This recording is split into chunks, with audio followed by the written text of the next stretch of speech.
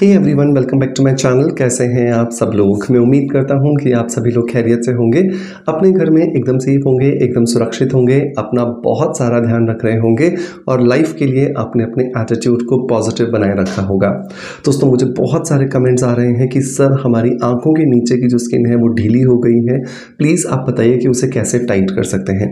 दोस्तों, आँखें ही होती हैं जो कि हमारे चेहरे का सबसे ज़्यादा सेंसिटिव हिस्सा होती हैं और जिस तरीके से हम पूरे दिन भर अपनी आँखों को चपचपाते हैं। बिल्कुल वैसे ही यहाँ की जो स्किन होती है, उसे सबसे ज़्यादा काम करना पड़ता है। और इसी वजह से यहाँ पे सबसे जल्दी जो कॉलेजन है, उसका ब्रेकडाउन होता है।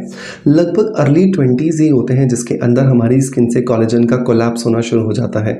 और ये कॉलेजन को अगर टाइम से रिप्लेस ना किया जाए तो डेफिनेटली हमारी जो स्किन होती है, वो लंबे समय में आगे जा के बहुत ज़्यादा ढीली पड़ जाती है और एजिंग प्रोसेस बहुत तेज़ी से शुरू हो जाता है।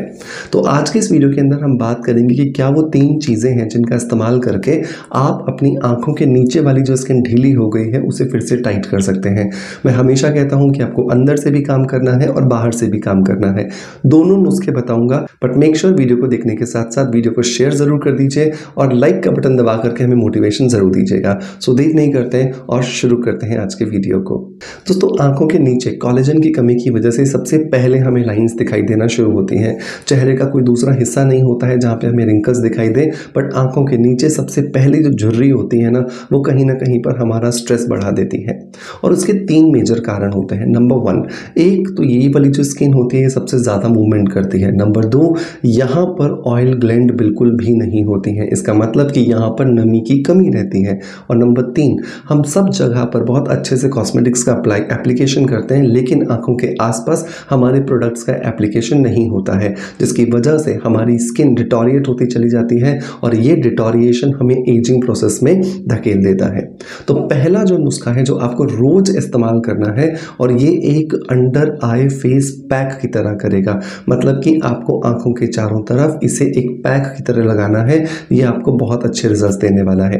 तो आपको लेना है लगभग एक चम्मच वैसलीन। ये बिल्कुल वही वैसलीन है जो अपने अपनी लिप्स पर लगाते हैं, एड़ियों पर लगाते हैं।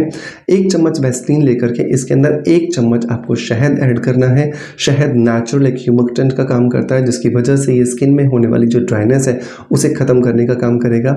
और नंबर तीन आपको इसके अंदर मिला देना है आधा चम्मच नारियल का तेल। तो तीन चीज़ें ली हैं। एक चम्मच हमने वैसलीन लिया है, एक चम्मच हमने शहद लिया है, और आधा चम्मच हमने अपने इसके अंदर डाला है नारियल का तेल, इन तीनों चीज़ों को आप अच्छे से मिला लीजिए। जब रात को आप सोने वाले हो ना कि हाँ बस अब आँखें बंद करनी है तो इसका थोड़ा सा हिस्सा लेकर के अपनी आँखों के ऊपर और आँखों के नीचे अच्छे से आप लगा करके सो जाइए।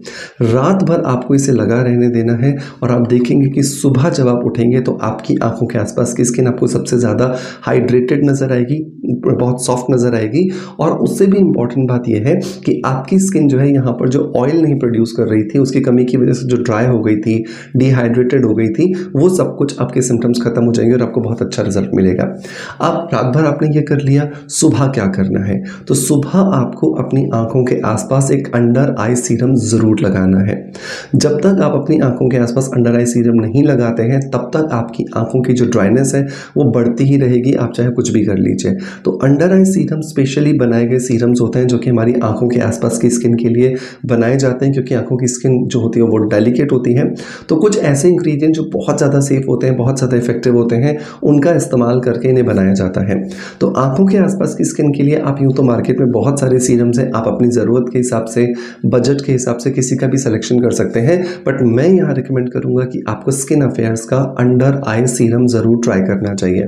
ये जो स्किन अफेयर्स का अंडर आई सीरम है, इसमें तीन बेसिक इंग्रेडिएंट्स हैं, जो कि इसे बेहतरीन एक अंडर आई सीरम बना देते हैं। नंबर वन इसके अंदर होता है कॉलेजन बूस्टिंग पेप्टाइड जिसकी वजह से स्किन के अंदर जो ढीलापन आ गया है स्किन की इलास्टिसिटी जो खत्म हो गई है, उसे ये वापस से रीगेन करने में हमारी मदद करता है। नंबर टू इसके अंदर है सेरामाइड्स सेरामाइड्स क्या करते हैं? हमारी स्किन जो नरिशमेंट से फ्री हो गई है मतलब जिसमें नरिशमेंट नहीं रहा है, उसको वापस से नरिशमेंट देने का ये काम करता है। नंबर तीन, इसके अंदर है रेटिनॉल जो कि नेचुरली एक एंटी एजिंग का काम करता है, और स्किन के ऊपर जमे हुए जितने भी डेड सेल्स होते हैं, उन्हें निकालने का काम करता है।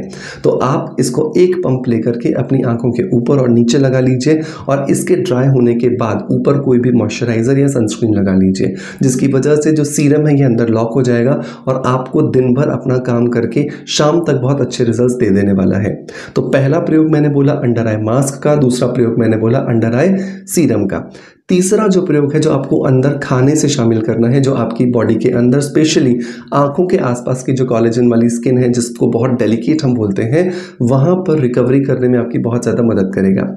तो आपको क्या करना है, फूल पताशे होते हैं, जिन्हें मखाने कहते हैं, उनको लेकर के आपको ड्राई रोस्ट कर लेना है।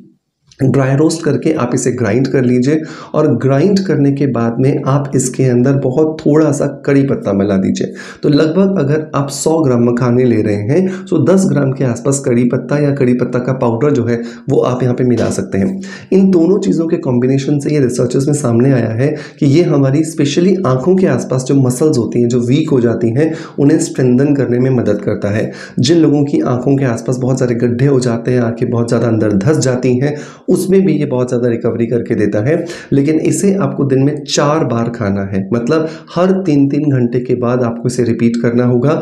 दो चम्मच आप इस पाउडर के खाइए। ऊपर से थोड़ा सा गर्म पानी या गर्म दूध पी लीजिए। जो भी आपके पास अवेलेबल हो, आप उसका इस्तेमाल कर सकते हैं। तो आपने क्या किया है? सौ ग्राम मखाना लिया, दस ग्राम करी पत्ता लिया, दोनों को अच्छे से मिला लिया रोस्ट कर लिया, दोनों एकदम कड़क हो गए। अब इसे मिक्सी में ग्राइंड करके पाउडर बना लिया और एयरटाइट डब्बे में भर के आपने रख लिया। दो चम्मच सुबह, दो चम्मच मिड नून में, दो चम्मच नून में और दो चम्मच नाइट में। इस तरीके से चार बार आपने दो दो चम्मच ले लिया गर्म दूध या गर्म पानी के साथ में। ये तीनों नुस्खे अपनाइए कम से कम छः महीने के लिए और आप देखोगे आपको बहुत अच्छे रिज़ल्ट मिल रहे हैं। आपकी आँखों के आसपास जो ढीलापन आ गया है वो भी टाइट होगा, आँखों के आसपास जो गड्ढे बन गए हैं वो भी रिकवर होंगे और स्किन पर जो आपको आँखों के आसपास एजिंग के रिज़ल्ट दिख रहे थे वो भी खत्म हो जाएँगे। मेक श्योर ट्राई करने के बाद अपना फीडबैक मुझे ज़रूर दीजिएगा। लेकिन हाँ चलते चलते एक रिक्वेस्ट करना चाहूँगा कि अगर आप चैनल पर नए हैं या आप चैनल पर वापस आ रहे हैं, लेकिन आपने अभी तक चैनल को सब्सक्राइब नहीं किया है तो सब्सक्राइब करके बेल के बटन को हिट कर दीजिएगा। और सबसे इंपॉर्टेंट बात कि अगर आपको ये वीडियोस पसंद आ रहे हैं तो कमेंट के माध्यम से हमें अपना फीडबैक देना मत भूलिएगा। आपका प्यार आप हमें जैसे देते आए हैं, बिल्कुल वैसे ही देते रहेंगे। इसी आशा के साथ आप चल विदा लेता आपका knowledge friend doctor Manoj thank you so much bye love you all